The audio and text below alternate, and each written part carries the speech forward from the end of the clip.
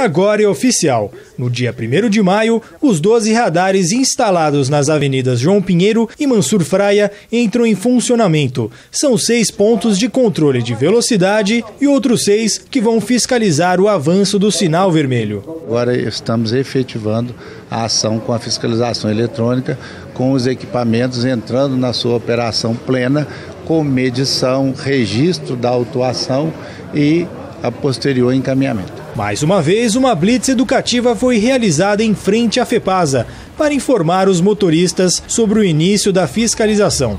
Soldados do tiro de guerra também participaram das abordagens. Segundo a Secretaria de Defesa Social, os radares são necessários porque 10% de todos os acidentes acontecem aqui na Avenida João Pinheiro, o que representa 200 ocorrências por ano, sendo que algumas delas envolvem vítimas fatais. Infelizmente, para a maioria das pessoas que não gostam de respeitar as normas e as leis, o único pensamento é o bolso. E o bolso vai ser meio salgado, né? E a instalação dos radares tem o apoio de parte da população, que acredita que assim a cidade fica mais segura. Vai evitar, é lógico, muito acidente aí que tá acontecendo aí. É bem segura, né? Graças a Deus, o povo vai parar de correr um pouco, né?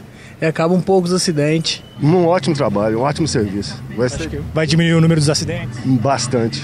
Até o dia 8 de maio vai ser aplicada também a autuação moral, como forma de advertir os motoristas sobre as regras de trânsito. Mas, segundo o secretário de Defesa Social, a população já está mais consciente. Desde o início da instalação até aqui, já é perceptível, a partir do momento da medição, que já houve uma redução e um enquadramento das pessoas a essa regra de utilização. Que eu ando direto no horário noturno também, eu tenho visto que o trânsito está bem tranquilo.